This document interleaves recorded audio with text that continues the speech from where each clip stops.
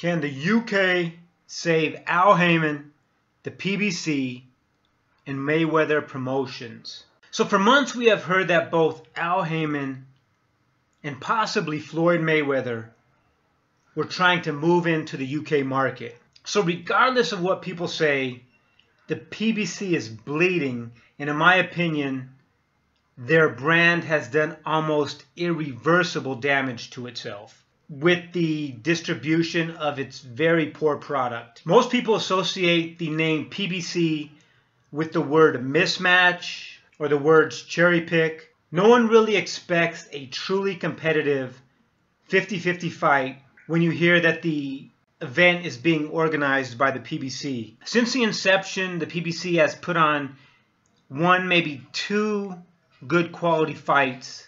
And generally, when you hear the word free, as in free fights, people think of that as a good thing. However, in the case of the PBC, when you hear the word free, you automatically think that you're getting what you pay for. You paid nothing for the fight, so basically what you'll get is a garbage fight.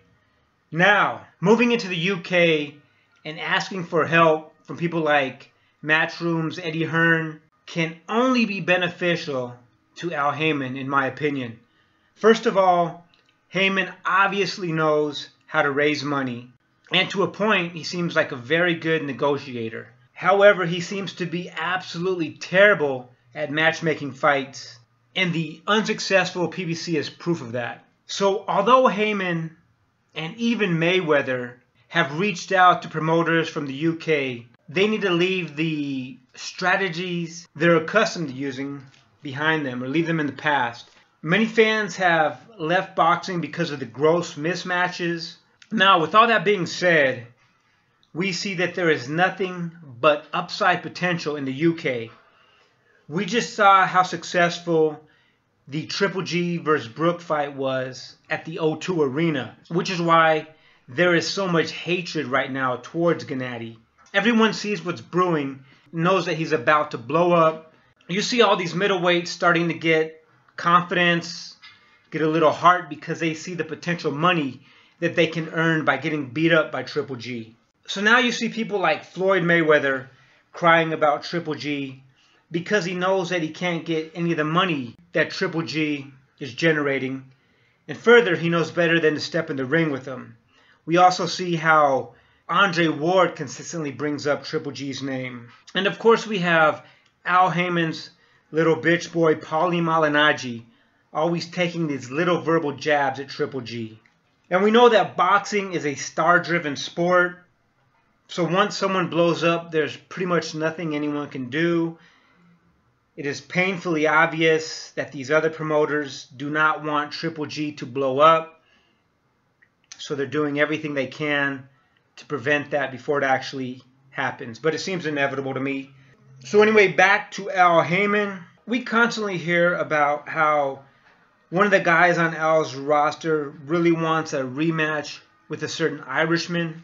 Now for me, I really do want to see the rematch between Leo Santa Cruz and Carl Frampton. I thought the first fight was very close, and it seemed like Leo is a 100% focused on getting the fight. Plus, from all the stuff I have been reading, it seems apparent that the PBC is just bleeding money. They are losing money and losing it quickly.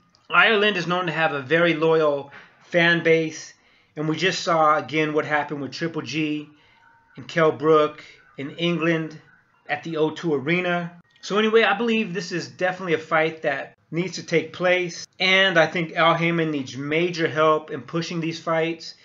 He has put on so many BS fights that he almost has completely destroyed his product. Al Haymon definitely needs these other promoters to help him sell tickets. And on a side note, I just read that Haymon Boxing reached out to Eddie Hearn a while ago trying to find a welterweight opponent for Danny Garcia.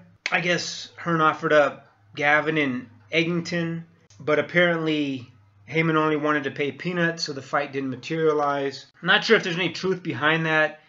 It just seems like Haymon has contracts with the fighters on his stable in which he is contractually obligated to pay them big money And so now he's looking for these both less qualified and cheaper fighters to pair up with his guys in order to hopefully not lose too much money on the fight. But anyways, back to Leo versus Frampton. We have to believe that the fight will draw a lot of attention for several reasons. First off, the first fight was very competitive and exciting. And secondly, I just believe Haymon needs help selling tickets. And he needs all the help he can get from overseas. Now, don't get me wrong, Leo used to piss me off. But I mean, in retrospect, I'm not sure if he's actually the one that deserves the blame. I mean, other than Leo and Danny, I can't think of anyone else who's been ridiculed more or been called a cherry picker more than either of those two guys. Now, I believe it's the case in Danny, but um, it seemed like Leo actually wanted the toughest fights, but his dad and possibly Al Haymon was holding him back. Uh, again, I can't say the same for Danny Garcia. It seems like he's content with taking the easiest fights possible. Anyways, I do hope the Leo Carl Frampton fight get put gets put together. Now, for all practical purposes, Mayweather Promotions is pretty much non-existent in my opinion. Floyd apparently wants to be a promoter, but it seems like the only thing he really wants to promote is himself. He obviously wants another huge nine-figure payday. And as a promoter, he'll probably never be able to generate that type of money. And obviously, the biggest fight possible for him right now is the UFC's Conor McGregor. We recently heard Floyd say that he's moving on from McGregor. I tried to make the fight happen between me and Conor McGregor. We wasn't able to make the fight happen, so we must move on. It's so crazy that when I talked about fighting Conor McGregor, now you got so many other fighters that's in boxing that wants to fight Conor McGregor. But I was the first, once again. I feel honored to be the biggest name Cheers. in MMA and in boxing, and I don't even compete no more. Now, to me, all the stuff that Floyd just said is disrespectful nonsense. Floyd claims to be a leader, but he is leading a circus. Floyd is actually proud that he has guys like Canelo and Khan calling out McGregor if Floyd was a true leader in boxing, he would have shown in his career that he was willing to fight the best on an even playing field. And as a promoter, he would put on the most competitive fights.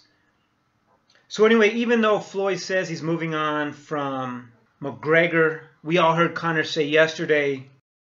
When I take that guy's belt, I don't. I'm looking around. I don't know what anyone else has for me around here. I might have to jump up and drag Floyd Mayweather out and see what the he's at again. So I'm sure if Conor calls Floyd, Floyd will come running. Anyways, I think both Al and Floyd, I guess more specifically Al because of the size of his roster, needs to seek out a lot of help from the UK. The damage he has done to PBC and boxing as a whole may unfortunately be irreversible, but I guess receiving help from qualified promoters may be the only way to actually get bo get boxing back on the right track. Anyways, these are just my thoughts. You guys take care. Have a great day.